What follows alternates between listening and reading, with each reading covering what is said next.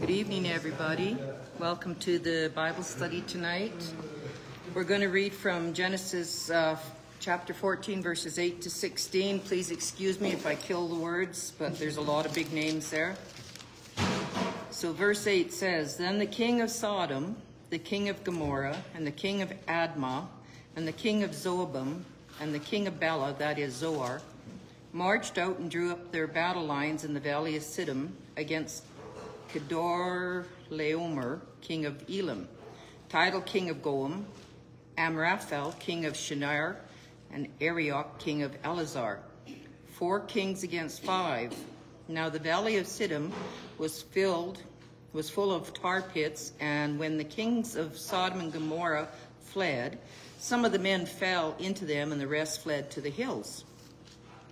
The four kings seized all the goods of Sodom and Gomorrah and all their food, then they went away. They also carried off Abram's nephew, Lot, and his possessions, since he was living in Sodom. One who had escaped came and reported this to Abram, the Hebrew. Now Abram was living near the great trees of Mamre, the, Am- the Amorite, a brother of Eshcol and Aner, all of whom were allied with Ab- Abram. When Abram heard that his relative had been taken captive, he called out the 318 trained men born in his household and went in pursuit as far as Dan. Thank you, Lord, for the reading of, oh, that's only 14, sorry. During the night, Abram divided his men to attack them, and he routed them, pursuing them as far as Hobah, north of Damascus. He recovered all the goods and brought back his relative Lot and his possessions together with the women and the other people. Thank you, Lord, for your word. And as we go into the study tonight, I pray, Father God, that you would open our ears and our eyes, our spiritual ears and eyes, to hear what you want us to hear tonight through the pastor, through his words. Lord, may we come alive. May the scriptures come alive as we realize the importance of all these little details and all these big names, but they are important, Father. So we I thank you, Lord, for this study tonight in Jesus' name. Amen. Amen. Thank you very much. Yeah, I passed that, uh, pass it over to her because I didn't want to. I, yeah, so interesting names. Anyhow, all right. So as we, uh, any comment or question from uh, where uh, the what we just read, the book we just read. Any comment or question? And that's okay. Um, uh, tonight we are still continuing with the Dare to be Different and Separation from the World. And one of the things about uh, Bible study series, if you follow, is quite challenging for me personally, but very interesting. Uh, we prayerfully trust the Lord to give us a particular uh, topic to follow through per each session. And the moment I get the, the topic, then I just begin to develop it based on our every, at the end of every study, that is when I begin to kind of follow the train of thought based on what we've discussed, um, questions asked, comment made, then I build up for the next Wednesday. And I'm saying this to say that uh, even though we, uh, the focus is separation from the world, uh, let me read the note. The focus of our study is separation from the worldly system or belief system. That is the focus. But based on some of the questions that were, especially last uh, Wednesday, and we focused more on relational separation, how it impacts our life. And, and I felt that, and this is what happened, and I, so I began to meditate on some of the questions asked, and I didn't just want to brush it aside, and I felt the Lord want us to kind of address that aspect of separation a little bit more. Amen. And so without getting completely distracted, but still building up together with what we follow it. I don't know if that makes sense. And so this is what we're going to be doing. So we will also be looking at separation and how it affects our personal relationship and our work as Christians. And every time, because of my accent and pronunciation, when we say walk, is W-A-L-K. And that is in relationship to our character. Not, uh, you see, God is more interested in my being than in my doing. My doing can become more productive and effective if my being is right with God. Right? I can do everything right. If I'm not right, if my life is not in right standing with the Lord, all my work, W O R K, will become futile. It's not important. It has no you can do things here without eternal value. But when our work is right with the Lord, every other things will begin to fall into place. And so First Corinthians in our note now say, First Corinthians chapter 5, verse 11 say, But now I have written unto you not to keep company.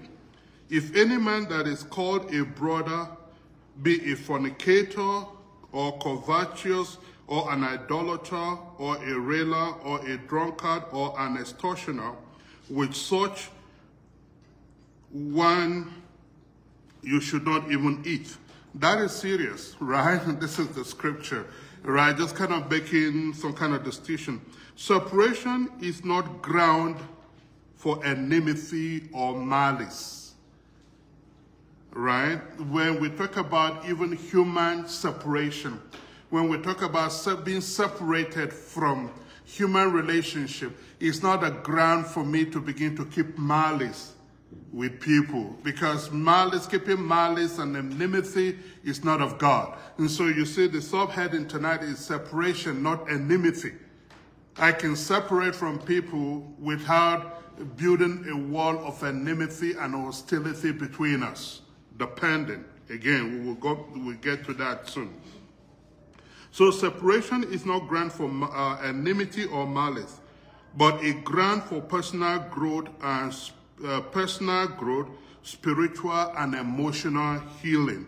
And so in a case whereby there is some kind of toxic situation going on in your personal relationship that is affecting your spiritual well-being, then separation becomes necessary. You don't get bullied or manipulated or emotionally blackmailed into staying in a toxic relationship.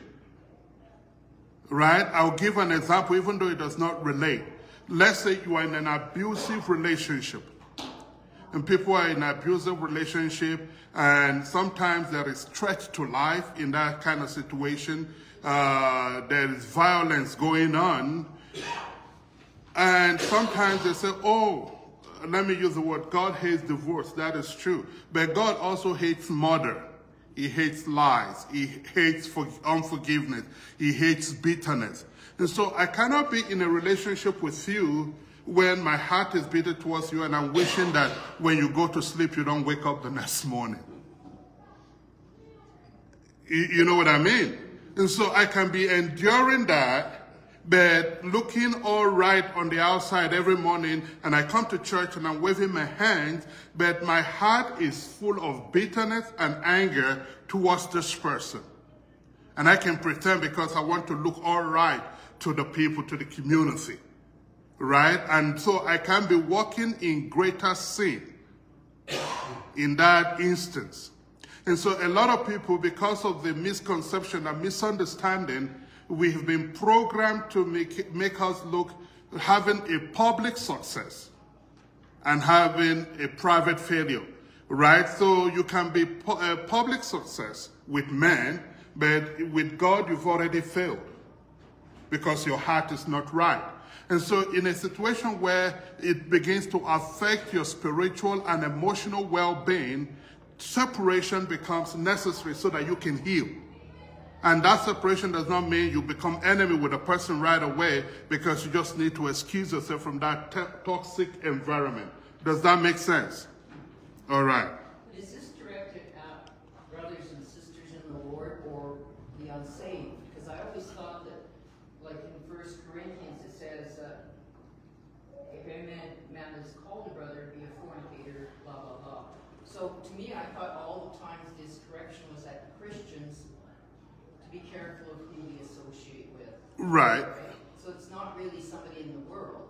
No, it's not really somebody in the world. except somebody who calls himself a brother. Yeah. But he is. And so that means I'm pretending I can't. That's why he said he calls himself, or calls herself. You know, that you can be. I, you know, the Bible says, uh, def, uh, nevertheless, the foundation of the Lord standeth sure. Let any man who names the name of the Lord depart from iniquity, for the Lord knows those who are, who are his. And so the thing is that uh, it's one thing to know God, it's another thing to be known of the Lord. And so I can call myself a brother, but does not have the quality and the characteristics of a brother. So I become a pretending brother. No, uh, uh, uh, like uh, a, a young child told me this years ago, that's almost tw- 30 years now, one of my Sunday school kids. Uh, uh, every brother ain't a brother. I never forget that. And he used that to preach. And, and so it's not all brothers that is a brother. So when you find out that the character and the behavior of that brother does not line up with the word. Because what happened is that most times it is even more dangerous, because that is important, it's more dangerous to be in league with somebody who is pretending to be what he's not. Because they are very, that is, is easy to lead you astray. Because when they begin, because if they are living a life of compromise, then what happened? Let's say, let's even use your pastor for instance, and he knows the scripture, and he can justify everything by the scripture, and it's okay to do that. It's okay to do this. After a while, what happened? You become what happened with uh, dealing with a brother who is pretending or a sister who is pretending to be a child of God that is not. What they do is that the enemy uses their lifestyle to spiritually norm you. Because now life of compromise becomes normal. It's just like the word says, show me your friend, and I'll tell you who you are. Because if your friend is not influencing you to be a better person, and you are not influencing them to change, if you don't have the capacity, because it, it, it boils down to who is the strongest. If my pretending brother, he's more, is stronger emotionally or has stronger willpower, then he can drag me down. But if I'm stronger, I can be around that person to change that person. But it's a very dangerous game to play because if you can't, don't try to be, try to play superhero because they end up dragging you down. It's just like people who are struggling with uh, the sin of lust and fornication begin to say they're going to go to the brothel to evangelize. You're looking for trouble. Right? And before you know it, you get, you get dragged in. And so if a brother is not living right, I think that is very, is a, I don't know. Or what, does anybody have any, any more opinion on that?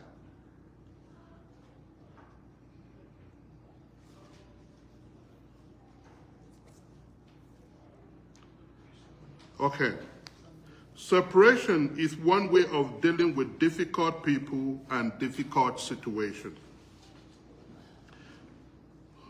Oh, sorry, the first, second one there. Separation and not isolation. Let's look at that one first. The, the third uh, uh, point there.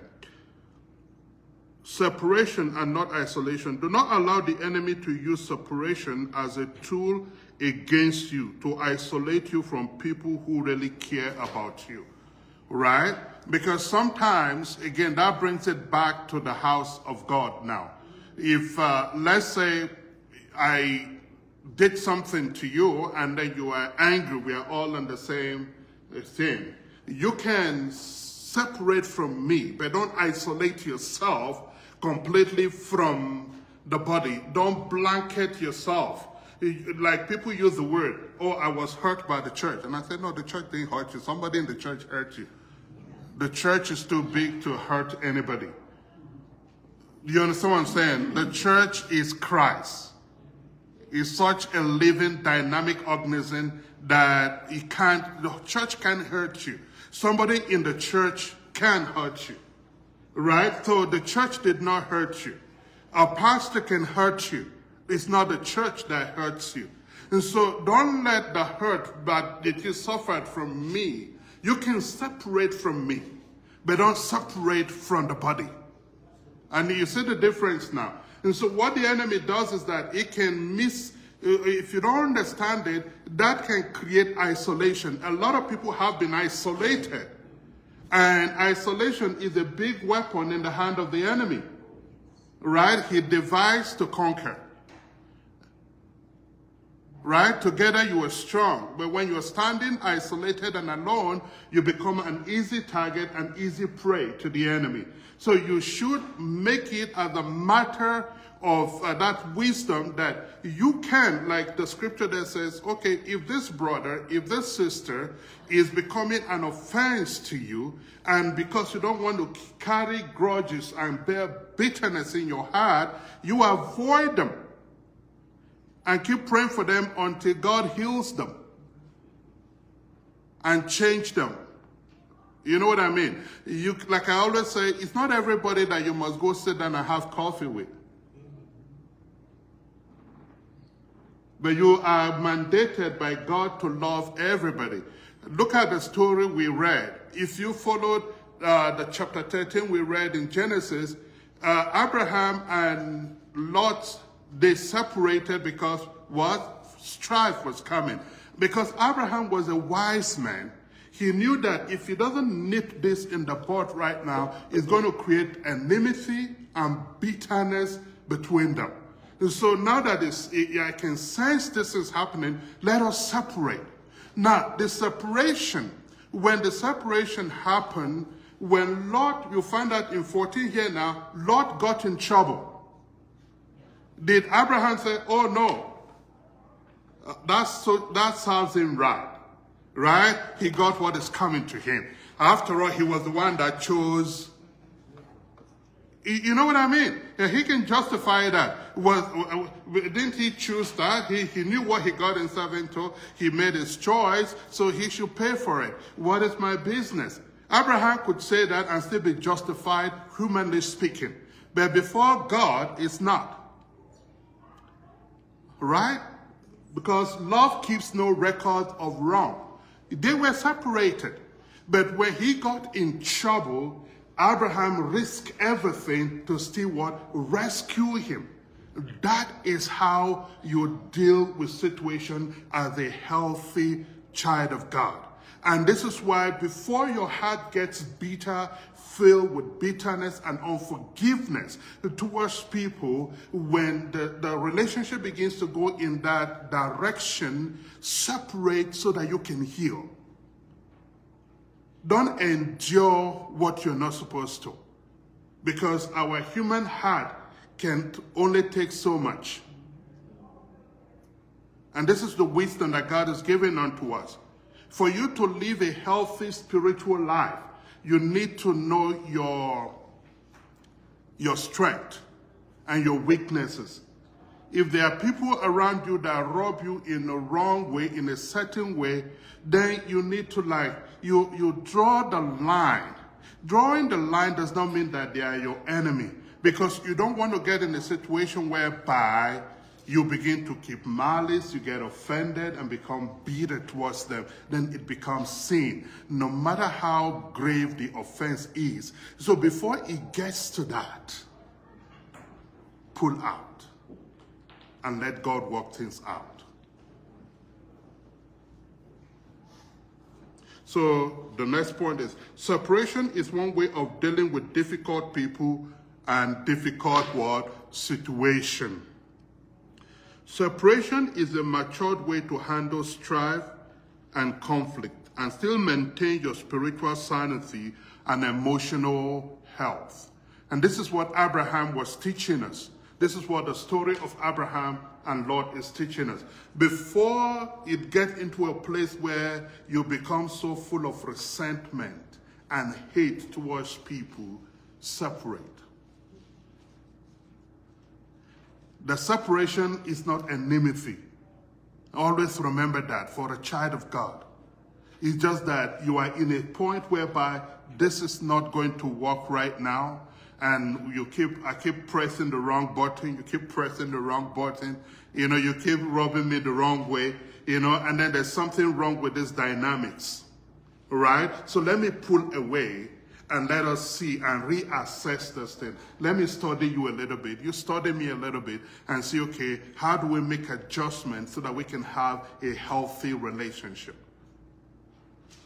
Can I ask a question? Though? Yes, please. Like in a church, like our size or whatever, even bigger, um, there could be a person that rubs people the wrong way, but only one it really bothers. So how does that person handle rub that gets them irritated when nobody else seems to even mind that this this person, this man, this woman is is rubbing you the wrong way? Yeah.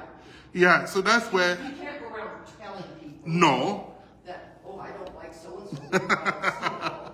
no, you don't. How do you deal with that when you're the only one that feels this? Yeah, so you avoid, uh, again, you, you try, you avoid them, but you don't keep malice with them, right?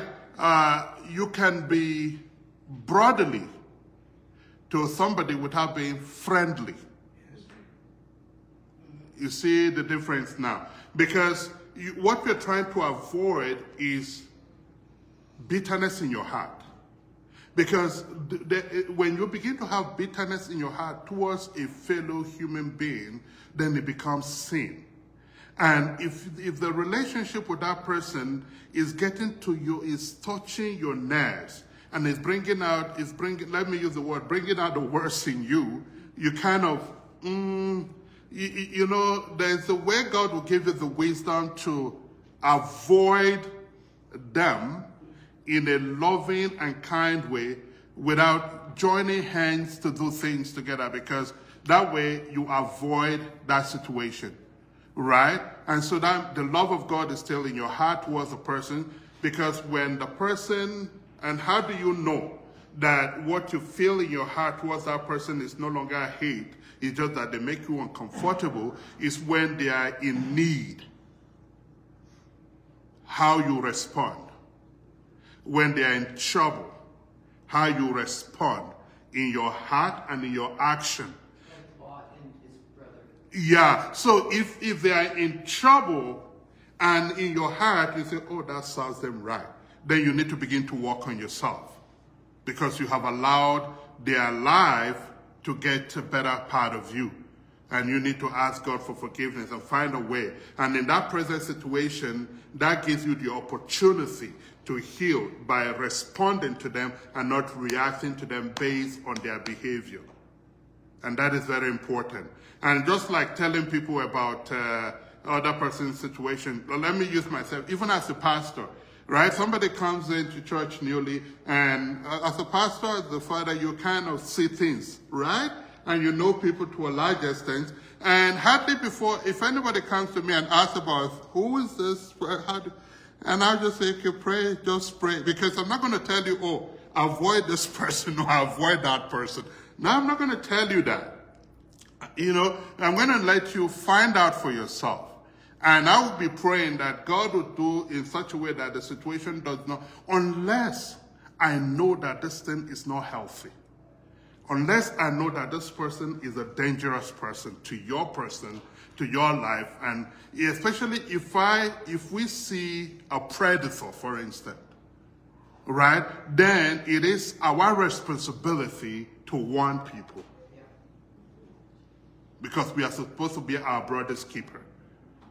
Especially the Bible says, if you know that this person is not a child of God, is just pretending. You can't check them out, and you know that this person is going to be a destructive influence to this person, and you can speak to that person in love and say, okay, be careful here.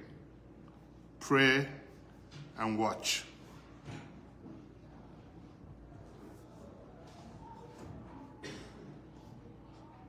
Okay, Second Thessalonian in our note, uh, 3 6 is there. Now we command, we command you, brethren, in the name of our Lord Jesus Christ, that ye withdraw yourselves from every brother that walketh disorderly. You see? And not after the tradition which he received of us. Because we cannot interpret things just based on our emotion. This is the scripture speaking here. Second Thessalonians 3 6. He said what? He said, withdraw from anyone who is walking disorderly. That person who has a questionable character that is obvious, that leads a very open, compromising lifestyle. That is not following true with their confession and profession of faith. Would So- that be the same as every brother who is idle and does not live according to the teaching you received from us? Right. My Bible, Well- says it. Okay. I just wondered. Yeah? Separation can become necessary when difficult people's choice begins to cause you emotional pain and mental disorderliness. Right? When there are choices, you, you cannot, like I said at the beginning, you cannot just be for the sake of being uh, a good Christian you know, and become a doormat. And you go to bed crying, you are miserable, but you just have to pretend because you want to be a superhero Christian. You are the one that, uh, the modern day Mother Teresa, you want to rescue everybody. But deep inside, you are agonizing. You're full of bitterness. You're full of pain, you know, because you are in this you know, this web of relationship that is hurting you emotionally and mentally.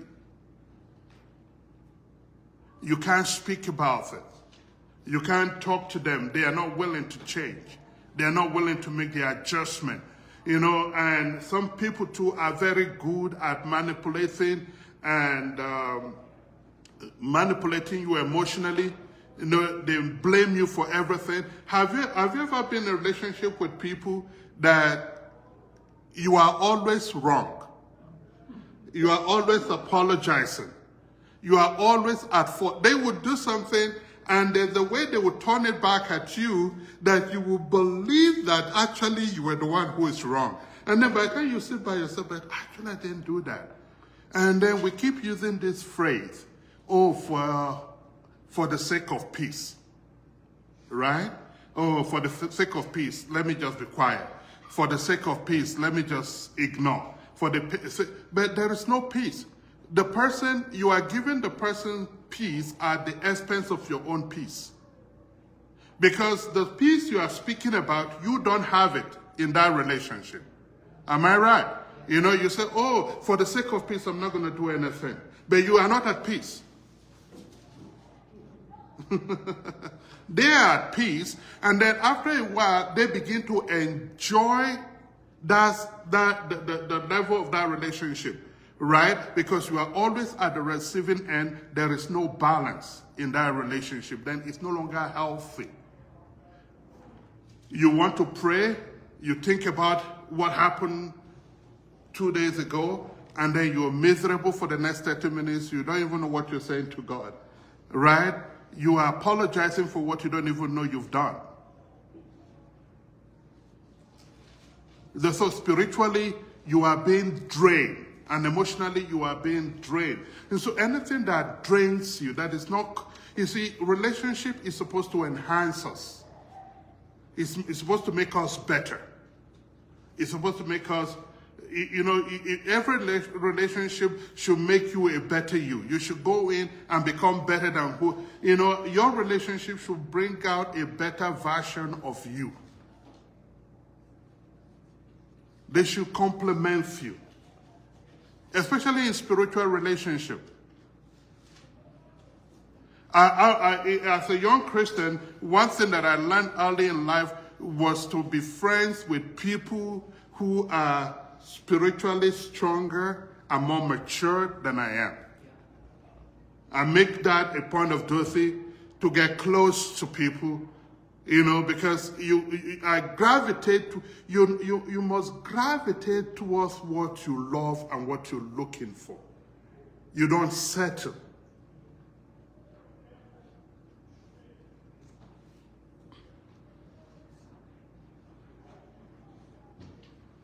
So we're talking about human relationship now.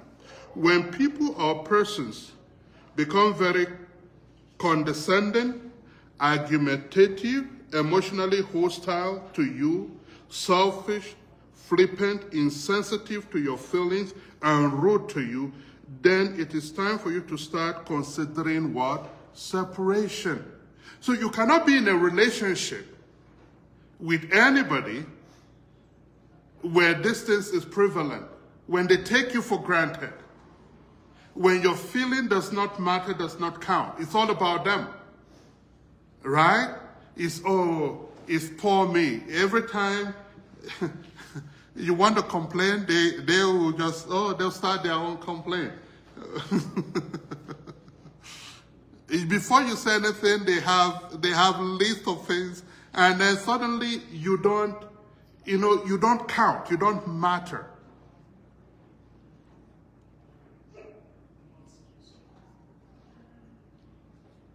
So separation becomes necessary when people begin to take you for granted and begin to undermine your person and your feelings.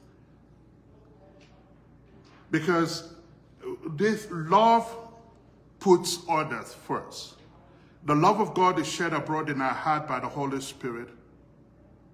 Okay, somebody wrote here, especially among family members. Yeah, it can be. Yeah, yes, it can be among anybody. This is a, this is a general thing, but again, from what we're talking about is to create a separation that will bring about a healthy reconciliation, like uh, Abraham and Lot. Right? We can't separate. We should not wait until the relationship breaks down to the point where it becomes very difficult to reconcile. And a lot of people do that. You know why? We endure and endure, endure, endure, endure, endure, and then we get to a breaking point and the thing burst. And then it becomes irreparable. And this is why uh, separation is important. The moment begins to build, up, give yourself space. And you must learn to give yourself space. Give yourself space. Give yourself space. You know, if you if you always you you you become friends with somebody uh, even in the church and and every time you people sit together, it's all gossip. They're complaining about this, complaining about that, and, and all you begin to notice is okay. Uh, this is not going to work. you need to pick that immediately and begin to like separate a little bit, and I realize before they draw you into that and you begin to walk in what you were not before. And because if you notice that this person is this way and this person is this way, or you like our brother talks about family members, and you are your families and your brothers, your cousins, and and and your guys are you can't talk about things and you can't have a discussion about that, and and then you you give them space, right? And then you guys will heal because what happens when you give yourself space from people is that you study them from a distance a little bit and reevaluate your relationship. You study their personality, you study their character, and you know that, okay, if I'm going to relate with this person for us to have a healthy relationship, there are certain things I must not do. There are things I must not say when I'm around them. You know what I mean? And so that by the time I come back again together, now I already know the points, and then I'll be able to, we can now thrive in a healthy way. And by the time they begin to pick that signal, they realize that, mm, okay, this person is not like that. Is either they change or they walk away.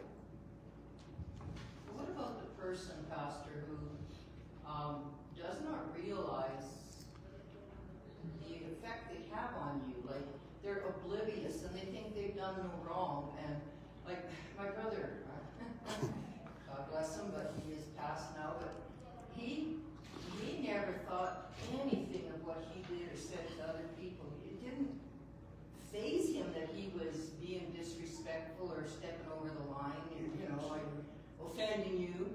And it's just like he had no clue. So how do you separate from a brother? I mean, really, Yeah, it, it, that boils down to the same thing. You don't sit down and have coffee with them to the point whereby. Yeah, you have to. The, the, the point is that you cannot, forgiveness is not an option for a child of God. And this is why you need to separate. In any way, God will give you the wisdom. The, the, the dynamics of that separation differs from relationship to relationship. It goes, you cannot say there is no uh, template for that. You, you know what I mean? You can't say, oh, this is how you separate. The way you will separate you, uh, your brother, your sister from that person is different from the way you separate from a neighbor, right? Because the relationships are different. You know what I mean? You know, so God will give you, as a child of God, you need the Holy Spirit to give you the wisdom. And so, okay, with my brother, you know, I know that if we sit down and if I'm going to drive from here, if I need a ride from here to Edmonton, right, I'm not going to call that brother.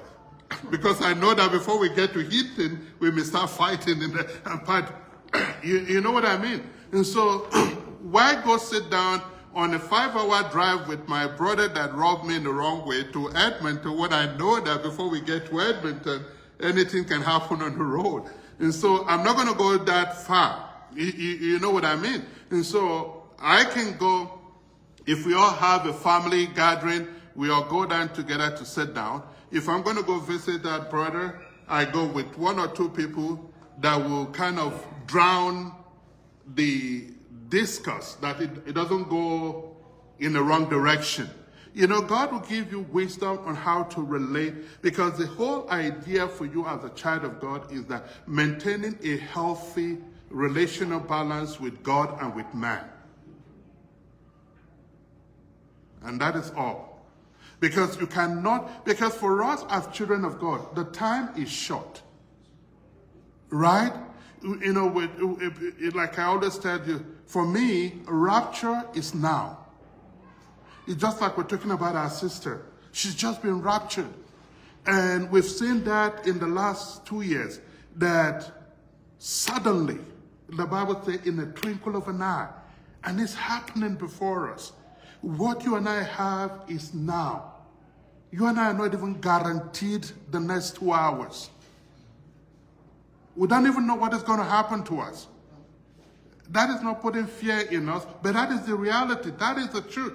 I don't even know what is going to happen tomorrow.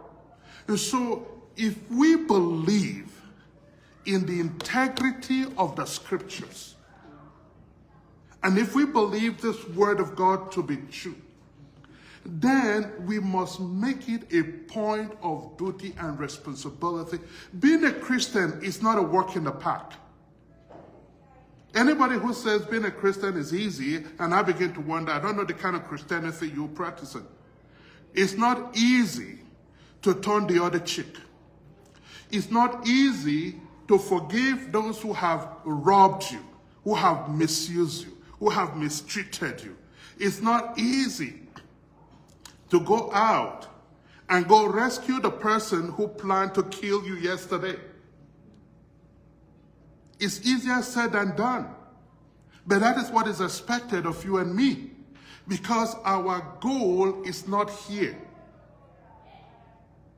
It's eternity with Christ we are pursuing. And if eternity with Christ is important to you and to me, then we pay the ultimate price. And one of the ultimate prize of eternity is forgiveness with no string attached.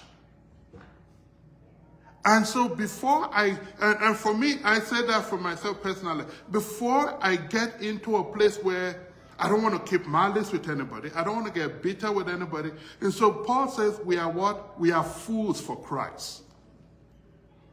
So before my relationship gets to that point, I will back out a little bit so that love can continue to grow.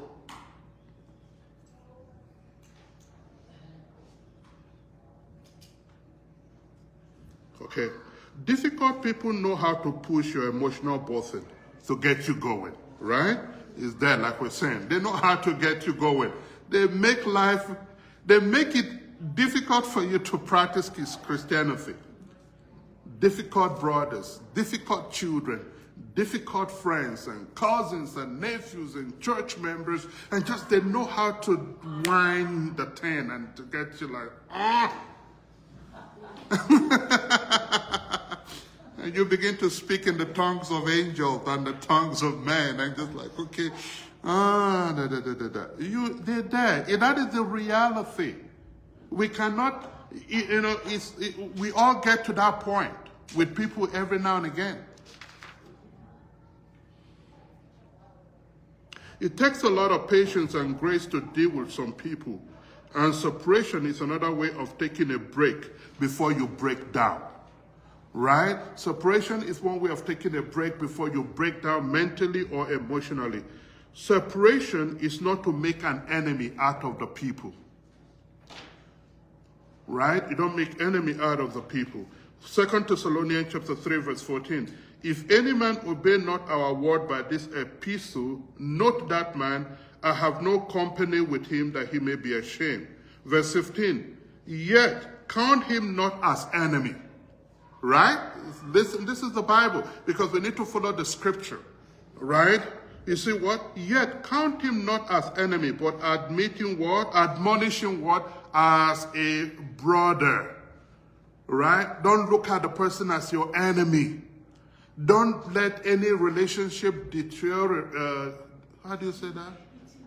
Deteriorate to the point whereby you become an enemy to any human being. Don't make anybody your enemy. And don't allow anybody to make you their enemy. Spiritual separation is simply saying, though we may not be together, but we are still bound by the cord of God's love. Spiritual separation is not cutting people off from our life. Unless, listen to this now because they have to be balanced. Listen to that last uh, point in the first page one. Spiritual separation is not cutting people off from our lives unless they are absolutely harmful to your spiritual, emotional, and physical well-being. Right? If somebody is a threat to your life, is a threat to you. You know what I mean? There is no way to be, you need to separate. There's some separation that have become, that have become completely, absolutely necessary if there's a threat to life. You cannot, uh, it's like trying to, you cannot keep a cobra in your home as a pet. All right? Uh-huh. So in spiritual separation, we must be guided by the word of the Lord and the Holy Spirit. Because everything I'm saying here boils down to you having the Holy Spirit in you and giving you direction. Like I said, it is relative. The Lord will give you wisdom on how to. Every situation is what? Is peculiar to you know your place but the whole thing is that it's important in separating. It's important for you and for me to continue to walk in love and forgiveness. That is very, very important. No matter what the situation is, always work in love and forgiveness. This is why only the Holy Spirit will guide you, right?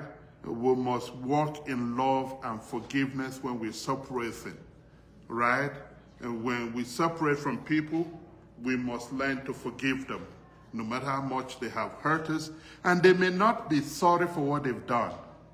Like uh, Melody was saying, they may not even see what they've done as being wrong.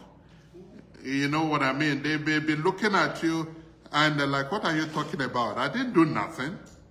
And then you begin to look stupid. and, they're, and they're like, you are really hurting and they're like, well, what are you making a big deal out of that? It's nothing. And I tell people, I say, if it makes me cry, if it, make, if it keeps me awake all night, it may not be important to you, but it's important to me. I mean, I was told once I should get a thicker skin. Yeah. Because of the words spoken, you should get a thicker skin. You know, we should not be to intentionally hurt people's feeling is not of God. We should not be, we should intentionally be loving, not intentionally hurtful. Don't hurt people intentionally. So we must be kind and reasonable with our words and actions towards people, right? Colossians chapter 4 verse 6 says, let your words, let your speech always be what? Gracious, seasoned with salt so that you may know how to answer each person. And so as a child of God, and this is what we're talking about, the Bible talks about at the beginning, if somebody calls himself a brother, right? He didn't say he's a brother. He calls himself, because there are fruit of the Spirit that should be eminent in our life to be gracious. We must be gracious and kind with our words as a child of God.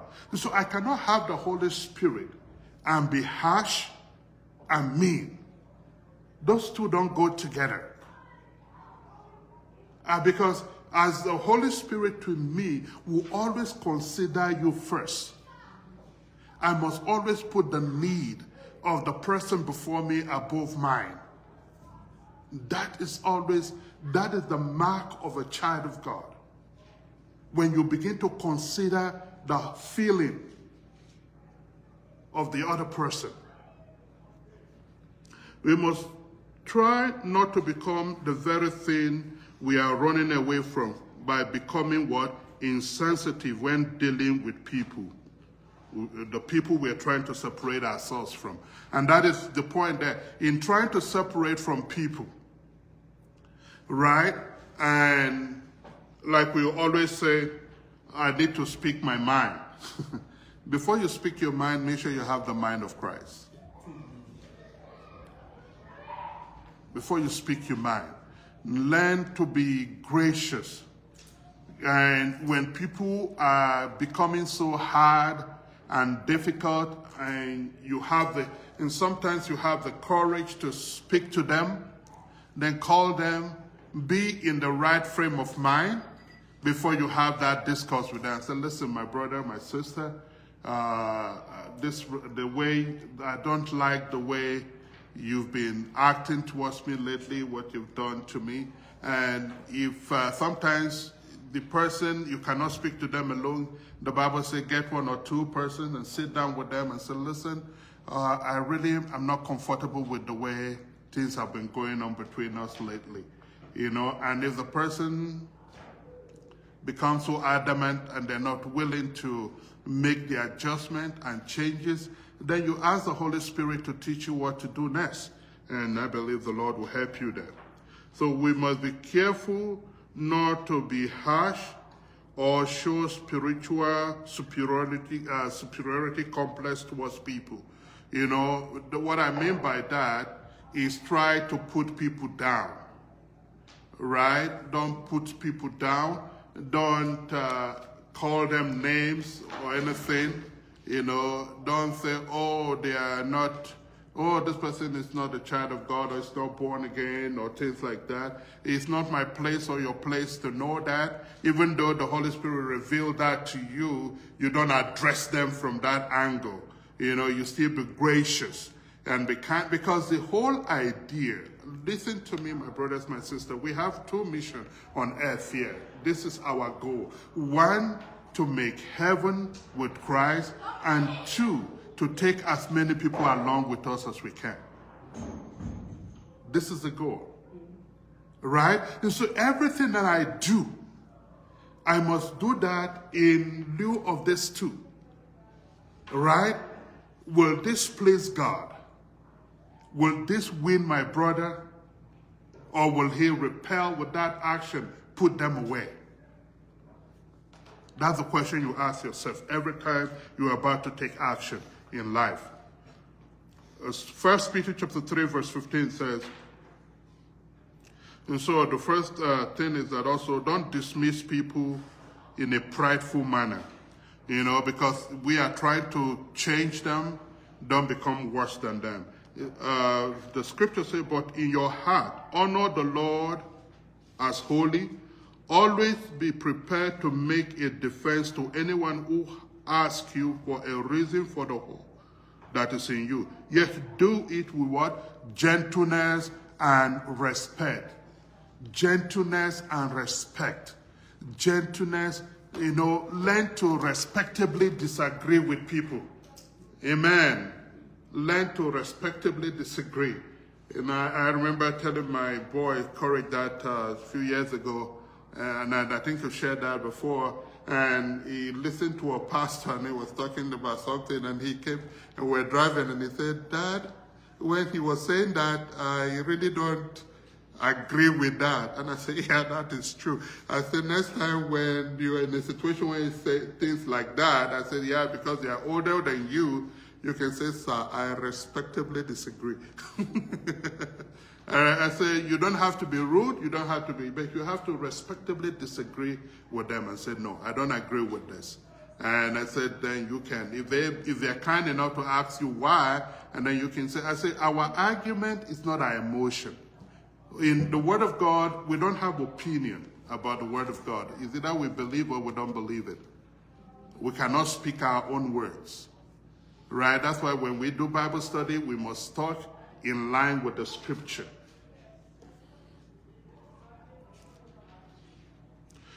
In spiritual separation, always should leave room for the possibility of reconciliation. And this is very, very important. The possibility of reconciliation in the sense that reconciling with the people, again, does not mean that your relationship may become be like what it was yesterday. The most important thing is that always leave room that there will be no enmity between you, there is no malice between you and the person, especially if the relationship is no longer harmful, if it's not destructive to your person. Right?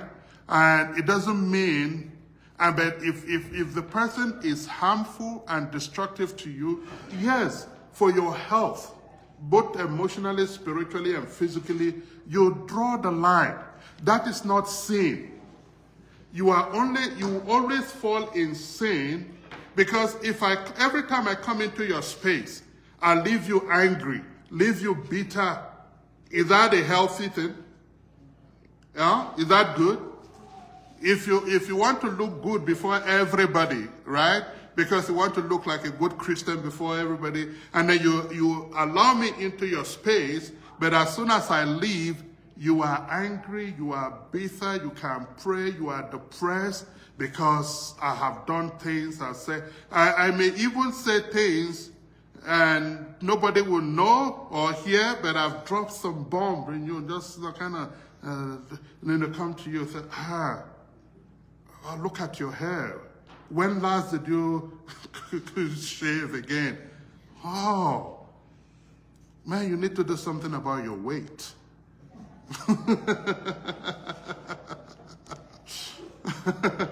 you know, and they have a way of dropping that little nugget and they make it like a little comment and say, man, the way you are eating now, you better watch it, your heart.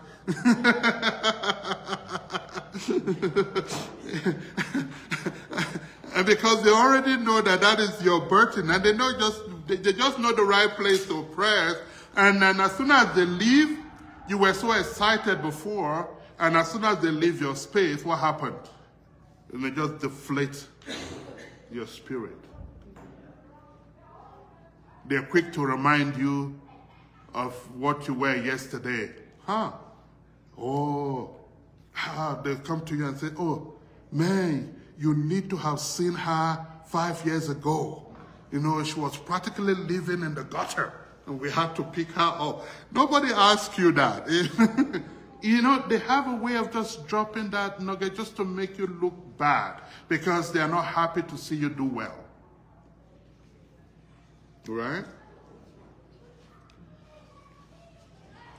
So approach every difficult situation with the mind of Christ. Can somebody read uh, Philippians 2, verse 1 to 5 in the note there for me? Loud, please. Who's willing to read that? It's in the handout. I just want somebody else to talk.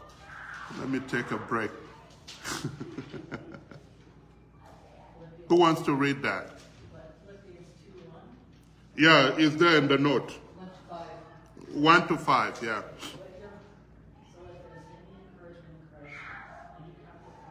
Can you louder, please? I said loud. Who's reading? Can you read loud so we can get?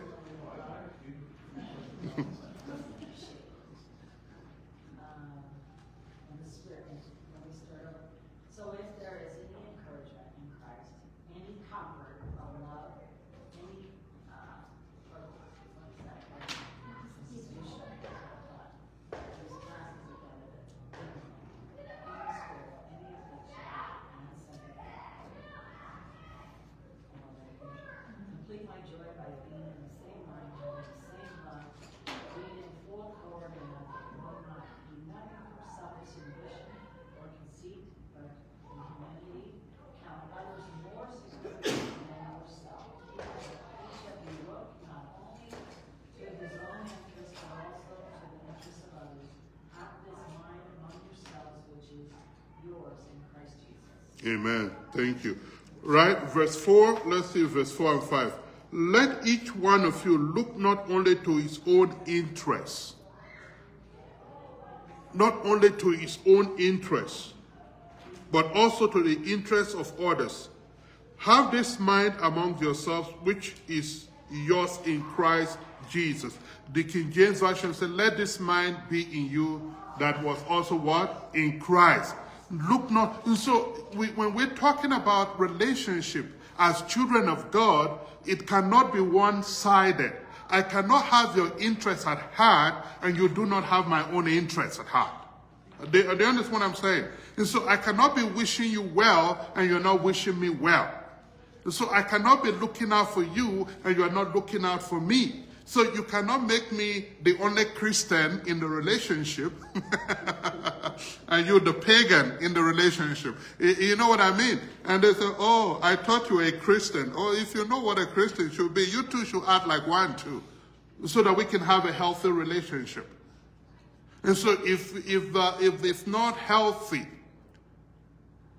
then, then we need to begin to do something. So we must not, we must act in love towards people because we are expected to show God's love, God's mercy, and forgiveness even in time of separation. Colossians 5:14 says, "For the whole law is fulfilled in one law: you should love your neighbor as yourself." So, right? Okay? Love your neighbor as yourself. And, and I want to say something about that. Love your neighbor as yourself. You cannot give what you don't have. Do you know that? If you don't love you, you can't love me. You treat me the way you treat you. And people love you to the degree to which you love yourself. Do you know that? Do you know that? So people say, oh, I'm looking for somebody who loves me for me. Nobody, yeah, if they love you the way you love yourself, so you find, you want to ask yourself, how do you treat you? What value do you place on yourself? What premium have you placed on you? Now, if you know how to love you, when people come around your sphere, they will be forced to do to you what you do to you. Right? And I can only do to you what I do to me. I can't love you more than I love me. And so if I'm not capable of loving me, I can't love you. Huh? Especially for the young ones. If you're looking for somebody who will love you for you, then love yourself first. Put value on yourself. Put a high premium on yourself. And so anybody that comes within that circle that you've drawn for yourself would have no option to treat you the way you treat you. And anybody who is not treating himself well can't treat you well. And so if you, as a young person, you get into a relationship, look at the way they treat themselves. Look at how the value they place on the people in their life and on themselves. I'm not talking about selfishness.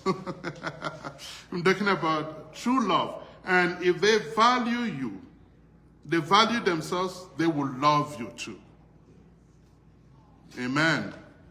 So people who like to take care of themselves and people who, who like themselves, I like, like, I like people like that to give me gift because they'll give what, they'll give me what they'll give themselves. Amen. Amen. right? Science have proven that too. Okay. Your happiness is an energy. Okay. Okay. Wow. If you're a happy person, the person next surrounding you can feel it. Wow. It's an energy. So science is agreeing with the Bible. They're 200 years too late, though.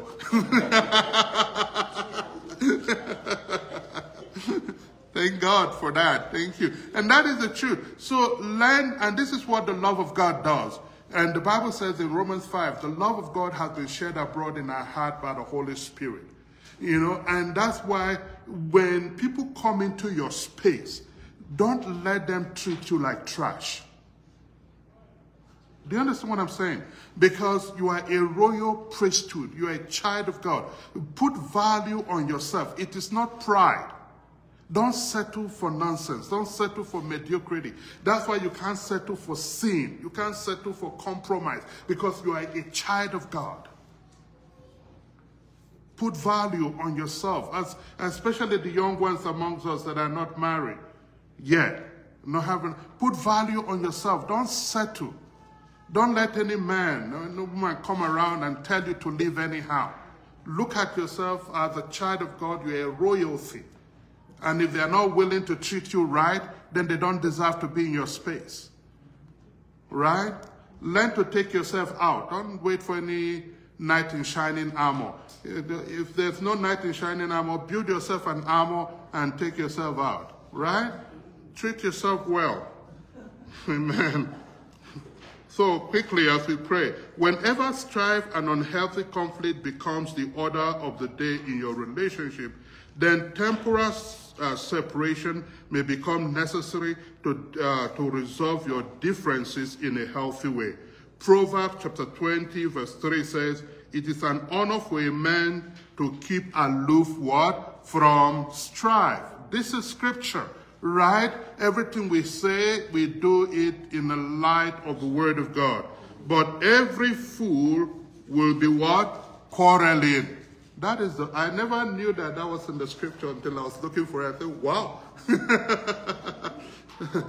so, so avoid quarreling. Don't quarrel with people. Separate before strife. Listen now. Separate yourself before strife turns into offense and create bitterness in your heart. What is strife? Bickering, arguing, a heated disagreement, or an angry, undercurrent situation. Strife is a terrible evil spirit that can create a very toxic atmosphere, and it is one of the greatest threats to the body of Christ. It makes you miserable and causes bickering, arguing of all sorts, right? And so we need to avoid it. Let us live a healthy life. Let us live a life of love. Let us live a life of forgiveness. Let us live a life of mercy. Avoid keeping malice. Don't avoid, you know, learn. We in one of our previous lessons we talked about how to deal with conflict, right? Healthy conflict resolution. We treated that last year, right? we talked about how to resolve conflict in a very healthy way, you know, and that is what God is calling us to. My brothers, my sisters, as we pray, I want us to keep this in mind that we are living in a very interesting season. God is calling us to a higher standard. It is not easy, but with God and the Holy Spirit on our side, we'll be able to pull through on a daily basis. Is every day with Jesus. Amen. Any question or comment before we pray? Amen. Okay. and this also applies to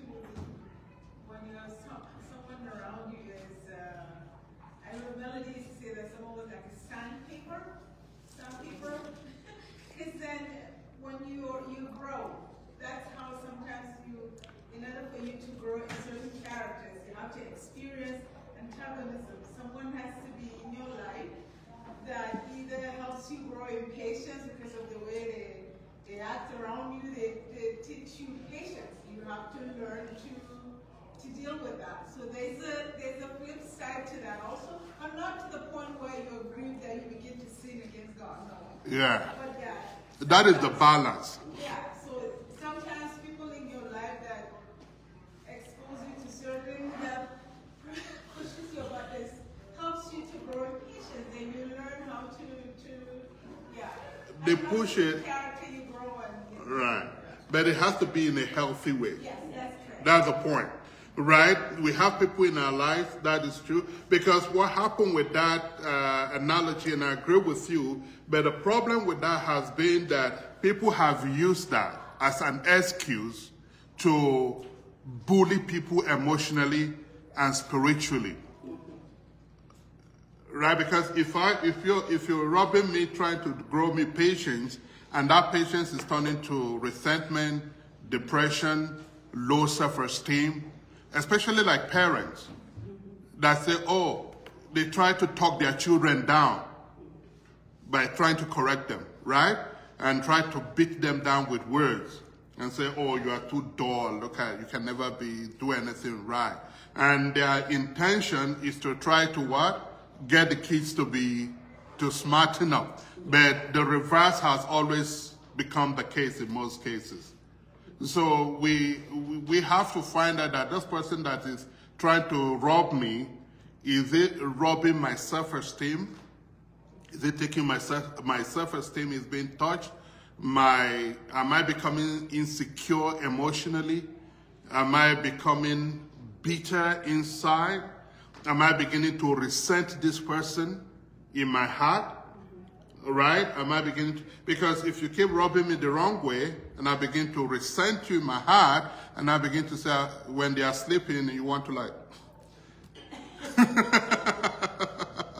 Right, you want to put a pillow there and say, wish they don't wake up the next morning. Then you know that you need prayer yourself. they are no longer robbing you the right way, they are robbing you the wrong way. Amen. Praise the Lord.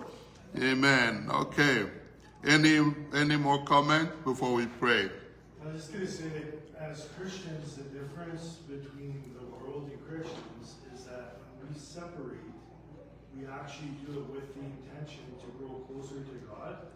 So when they call those things like the self-esteem, when we put God first, love God first, the first commandment, that's where we learn the love that we can then demonstrate. So it's always to go back to. You separate to go back to God. So even when Jesus was about to be crucified, he surrendered his will to God's will. Like he went back to his father. He said, Father, if possible.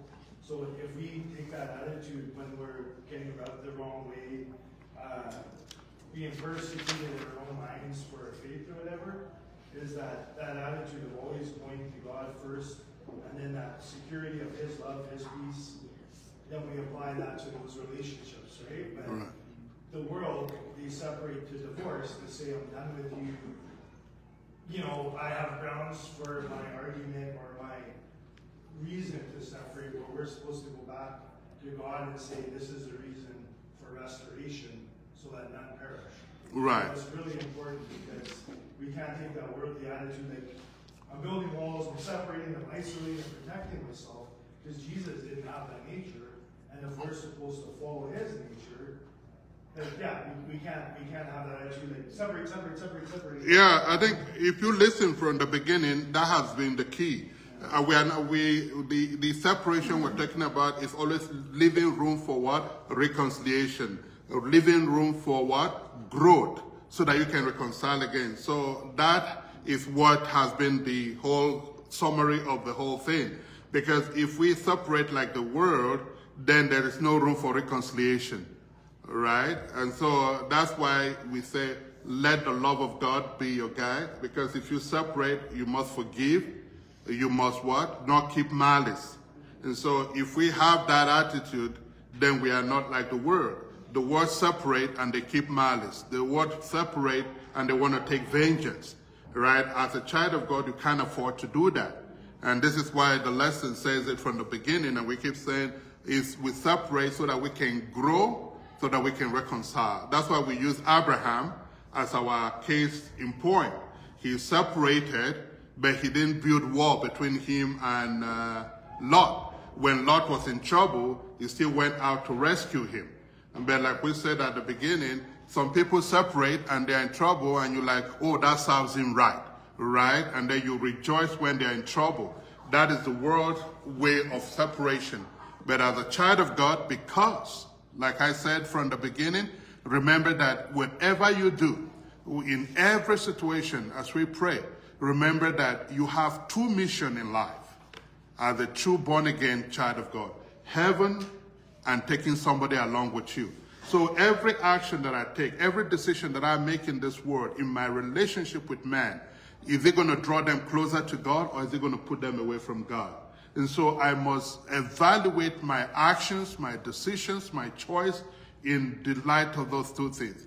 Will this make me make heaven or cut me away from God?